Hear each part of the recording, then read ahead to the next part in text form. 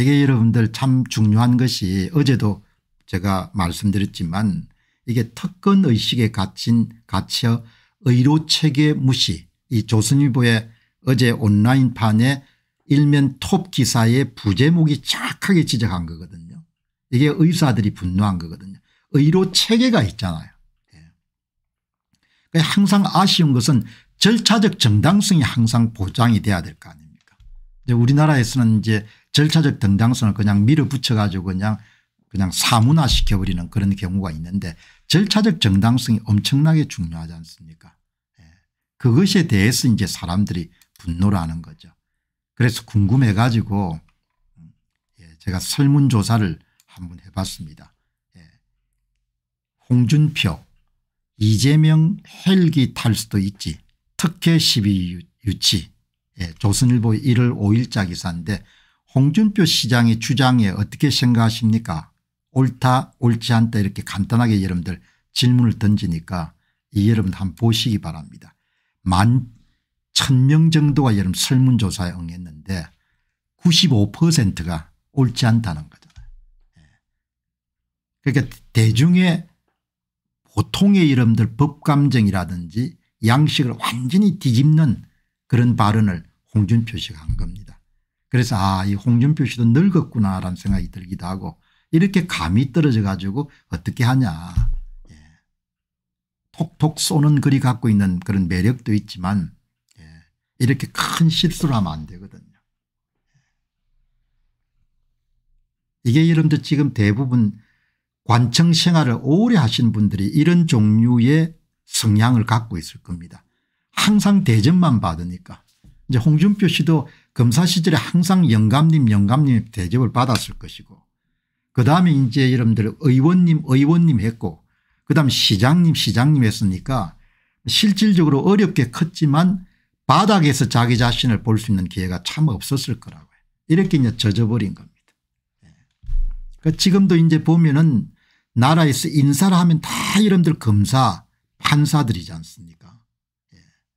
이번에도 공천관리위원장도 뭐 판사 출신이고 사람만 하면 다 판사 검사지 않습니까 그 몇십 년 동안 다 그게 다 동질적인 집단이 되는 거죠 나라가 예. 모든 자리에 다 판사나 검사를 채우니까 예. 그게 좋은 일이 아니거든요 다양성이 있어야 되는 건데 물론 대통령이 갖고 있는 인재풀이 검사풀밖에 없는지는 모르겠지만 이렇게 하면 안 되거든요. 시청자 의견을 여러분 한번 공유할 수 있는 기회가 있었으면 좋겠다. 이 보시기 바랍니다. 이게 이제 여기에 예. 이걸 보시면 여러분도 얼마나 사람들이 이렇게 화가 났는지 지금 이제 1만 5천 명이 여러분들 설문에 응해 가지고 94%가 여러분 옳지 않다고 했거든요.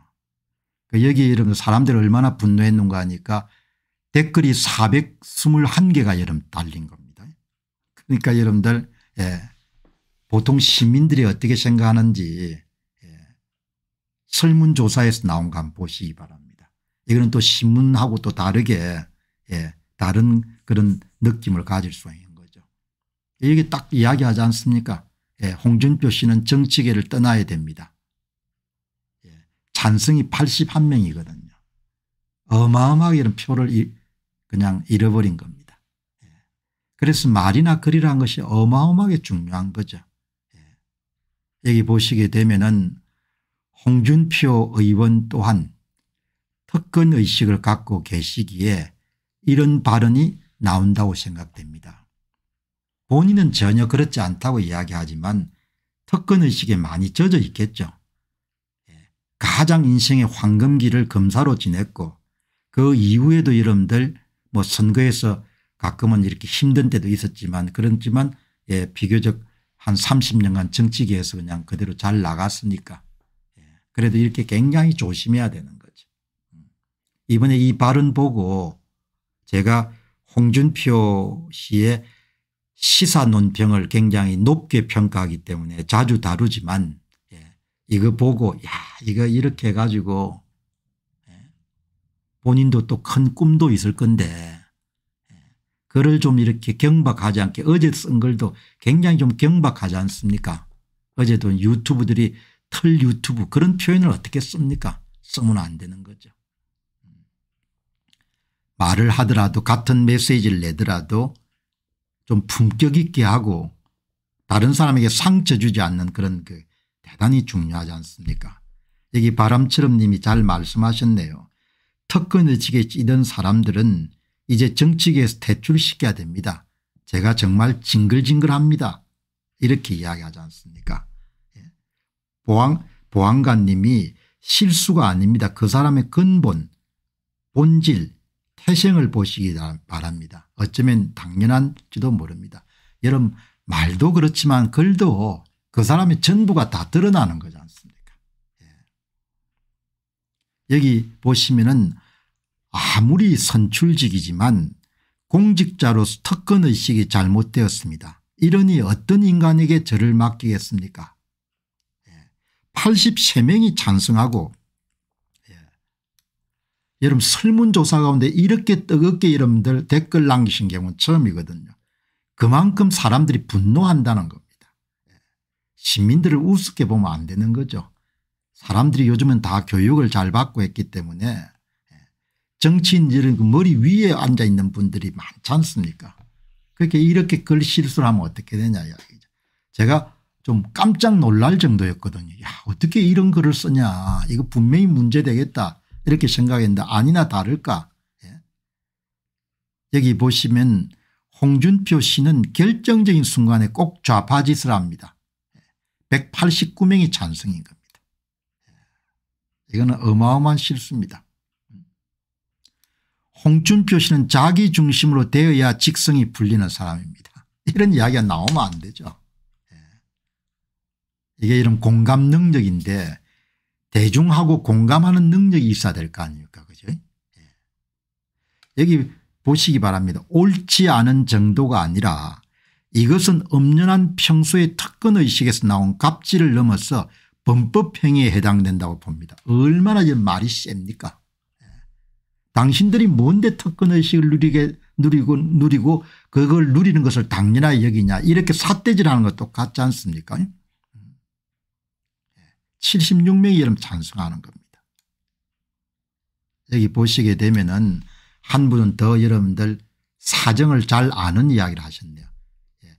경상도 쪽을 커버하는 헬리콥터가 두 대인데 그날 한 대가 고장이 났어 가덕도에서 부산대 병원 부산대 병원에 서울 노들섬까지 이재명이 두 번이나 사용하는 바람에 경남 지역의 누군가가 위급한 상황에서 그 비행기를 쓰지 못할 수도 있습니다. 36명이 이름 찬성하는 겁니다.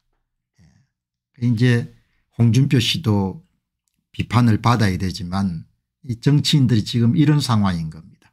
예. 본인들이 지배하는 자라고 생각하니까 예. 이또 한 분은 이분의 정체를 제가 알 수가 없습니다. 따르는 사람이 없는 당신은 오리알 신세대입니다. 왜 뭐 다른 사람이 지금도 있지 않습니까 60명이 찬성하는 거죠.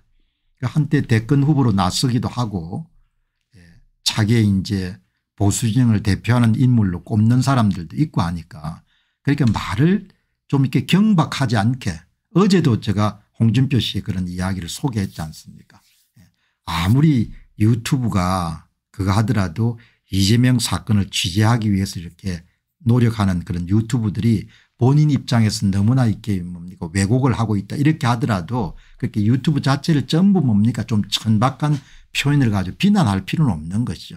예.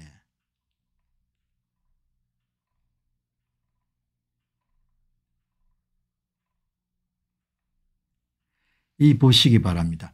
수십 년간 국민의 세금으로 온갖 특혜를 누려온 정치인에게 그 정도 상처에 병원 헬기를 제공한 것은 당연한 것이라고 생각할 것입니다. 42명이 여러분들 찬성한 거 아닙니까 예. 그런데 여러분들 이렇게 특권이 싹 없는 사회가 돼야 되는데 이제 선거가 이렇게 완전히 특정 세력들에 의해서 장악이 됐으니까 선거가 이런 장악된다는 것은 새로운 계급이 등장하는 것 새로운 계급들이 특권을 누리겠다는 것을 뜻하지 않습니까 여기에 분노하시는 분들도 예, 선거 문제를 생각한 분이 얼마나 많은지 모르겠습니다. 여기 보시면은 홍준표 씨를 진심으로 좋아하는데 대권에 점점 더 멀어지나 봅니다. 그러니까 왜 자꾸 실수를 하냐 이야기죠. 예.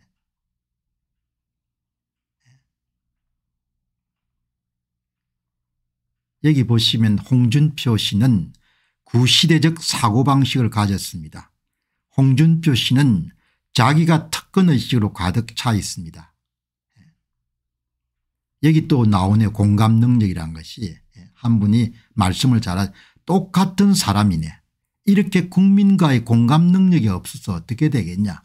공감 능력이 있어야 되지 않습니까 국민 세금을 우습게 안 해요. 이 보시게 되면 전부가 다 몇십 명에서 몇백 명까지 찬성을 하지 않습니까 그러니까 이번에 표를 어마어마하게 잃어버린 겁니다.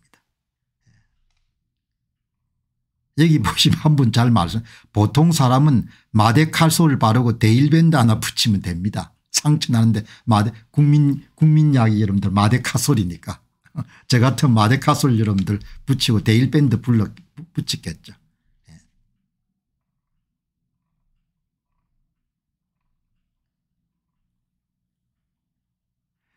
예, 홍준표 씨는 입조심을 하는 게 좋습니다.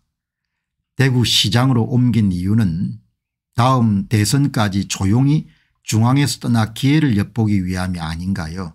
제발 가벼운 입조심을 하시기 바랍니다. 예. 옛날에도 조국 수호 때문에 어마어마하게 홍역을 치렀지 않습니까 예. 조국 수호가 제명수홍으로 예. 이렇게 이야기하지 않습니까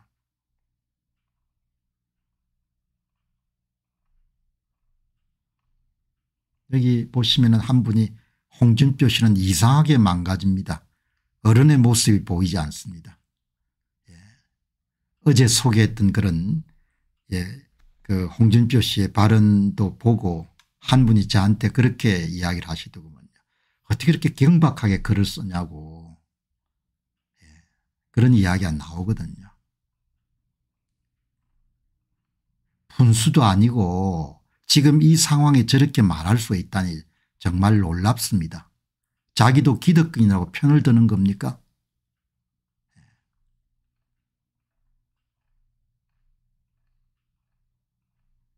여기 한 분이 더 여름 직설들 이야기하셨네. 왜 옳지 않느냐 하면은 정치는 특권층이 아니기 때문입니다. 정말 싸가지 없는 짓입니다. 국민이 당신들을 떠받들여야 됩니까 이렇게 묻는 겁니다. 국민들이 바보 천치가 아니라는 겁니다. 국가의전 서열 8이면 법을 어기도 되는 겁니까 이렇게 이야기하는 거예요.